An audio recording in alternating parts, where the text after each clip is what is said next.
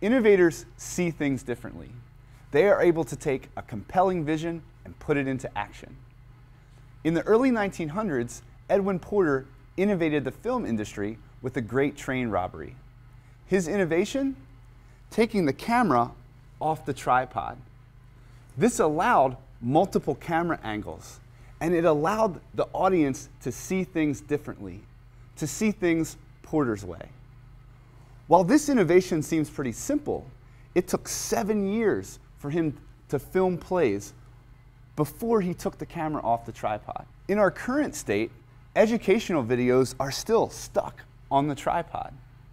MOOCs, the Khan Academy, even my general chemistry course on iTunes U are simply lectures that are recorded with a camera that's stuck on the tripod. Come view my talk, and you'll see some innovative ways that I'm using to take the camera off the tripod, using inquiry, curiosity, and the scientific method for my viewers or my students to see things in a different way.